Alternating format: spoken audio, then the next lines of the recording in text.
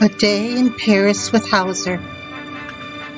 He enjoys breakfast, French toast, croissants, orange juice, a plate of fruit, and tea.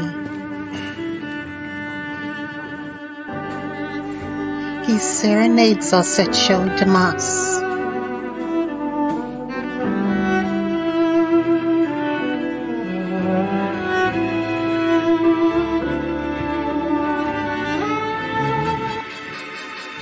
Eiffel Tower is a wrought iron lattice tower.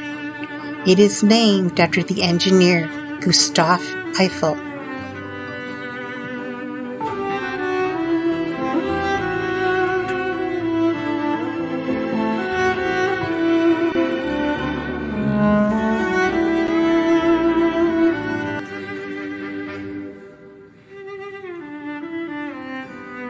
Eiffel Tower. Beautiful.